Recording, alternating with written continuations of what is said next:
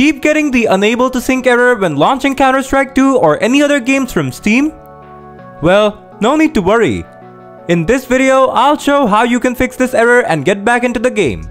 So without wasting any time, let's start. Solution 1. Run Steam as an administrator. To do this, right-click on the taskbar and select Task Manager from the pop-up menu. Now, in the search bar here, type in Steam. Next, right-click on Steam 32-bit and select End Task from the context menu. After that, close the Task Manager.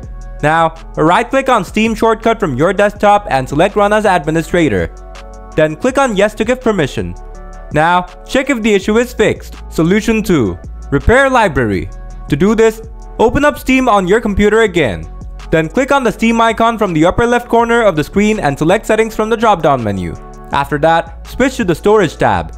Next, click the three dot button next to your drive and select Repair Library. After that, click on Yes to give Steam client permission, and it will start repairing the whole library. It may take a while, so sit tight. Once it's done, hit close and restart your PC.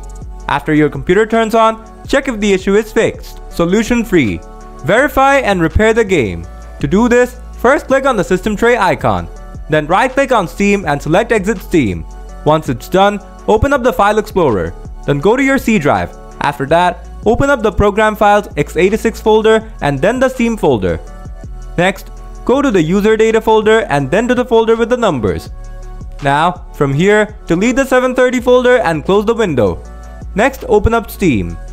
Then go to your library. After that, right click on the game you are facing the issue and select properties. In my case, it's Counter-Strike 2. Next, click on install files from here. Now, click the verify integrity of game files button and Steam would start verifying and repairing the game.